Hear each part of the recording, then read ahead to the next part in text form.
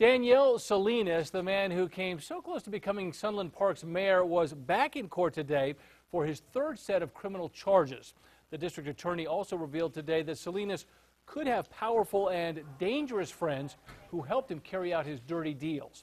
News 13's Katie Kim is in the newsplex.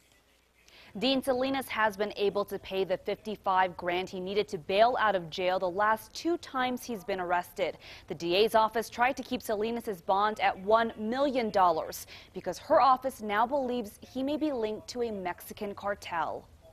The list of charges against Sunland Park's Daniel Salinas keeps getting longer and longer. He was in court again today this time accused of using city money as his own slush fund.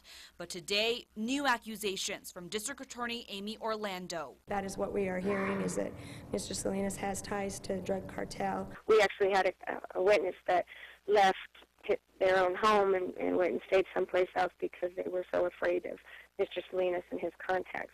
The DA's office argued Salinas is dangerous and tried to keep him behind bars on a $1 million bond. Salinas' attorney said that was, quote, unreasonably excessive, saying the DA has no evidence that Salinas is linked to the Mexican mafia. That is ludicrous. I mean, they haven't received, they haven't given any indication of that. Salinas pleaded not guilty today to charges of fraud and demanding illegal kickbacks. Investigators believe late last year, Salinas, who was the interim mayor at the time, used money that was supposed to go towards a border crossing in Sunland Park on his mayoral campaign and to live it up while on an official trip to Mexico, a trip that included frequent visits to strip clubs and brothels.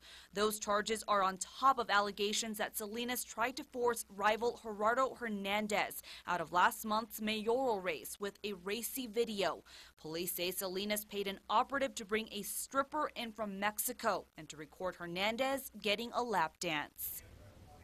Hernandez also told me tonight he's on edge, feeling threatened. Hernandez believes people have been prowling around his house when he's not there, but he says he's not sure if Salinas' people are behind it. Back to you. All right, Katie, thank you. The DA says the investigation into Salinas is not over yet. Her office is still looking into three city departments, including the local MVD. She expects to file more charges against Salinas in the next few